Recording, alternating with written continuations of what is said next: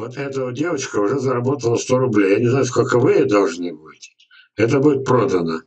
Я когда посчитала их мама, а детей в семье, кроме этого пособия же ничего практически нет.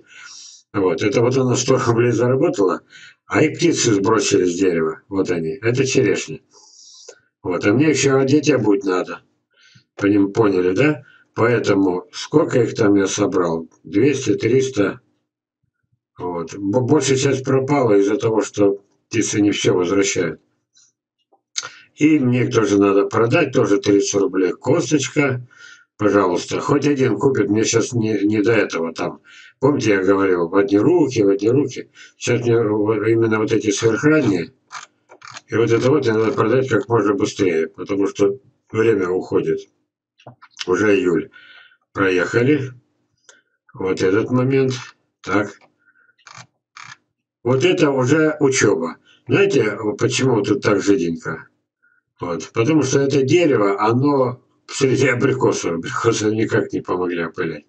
Это брянская розовая. Я всегда возмущался тем, не буду лишний раз, уже фамилию не говорю, когда э, это уважаемая а ну-ка, ну-ка, что пишет? Олег Костинович, я хочу сверхраннего бая косточки. 30 штук, пожалуйста, отложите. Короче, э, это, э, пожалуйста, пожалуйста, тут идет так. Ну, ваше уже э, в WhatsApp уже вот это письмо, оно будет самым верхним. Вам уже 30 косточек гарантировано. Так, денежку переведу. На пересылку вам придется рублей 300 потратить. После все это, все звереет. Так что 300 штук, 30 штук вы заказываете. Там я ниже не читаю, некогда. Вот, 30 штук, 900 и 300, 1200 за 30 уникальных косточек. Вот. Дорого, но с другой стороны, что сейчас дешево. Теперь, сейчас магазин сходишь с тысячей, лучше не ходить. Так, смотрите, начинается учеба. Итак, дама, которая в своей книге про этот, про э, этот самый абрикос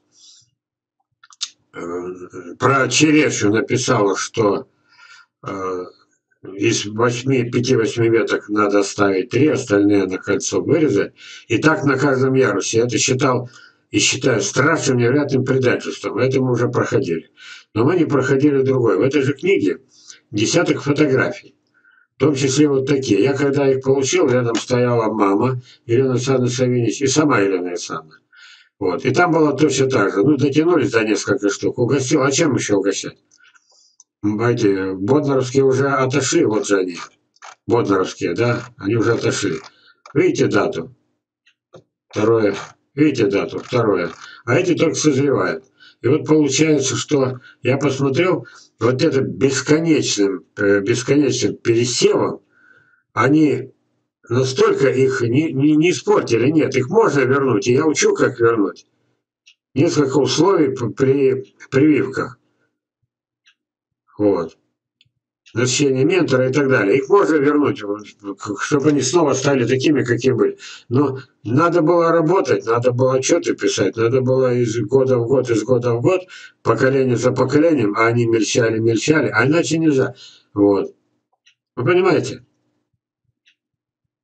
И вот получается, что они уже достигли такого. Я 10 лет назад получаю черенки. Брянская розовая, знаменитая. И вот с тех пор до сих пор а, она плодоносит. Я даже больше не стал ни одной веточки не взял, да и некогда особо эти веточки. И не стал возвращать им эти качества. Вот довели до такого состояния. Вот мы имеем. А теперь вспомните, сколько я вам черенков продал Брянской розовой? Один или два, и то тем, кто такой же ненормальный, как я сам. Вот. Дальше учеба. А, почему я еще сказал? В книге десяток фотографий с разными названиями. И если крупные, отличные, все сохранили качество. Если вот такие несколько фотографий. Чем, чем хвастаться, что это? Породу, вот я раньше называл загубили.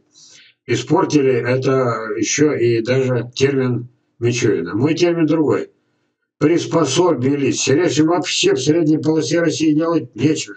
И даже в Брянске, откуда Брянск, тоже делать нечего. Почему?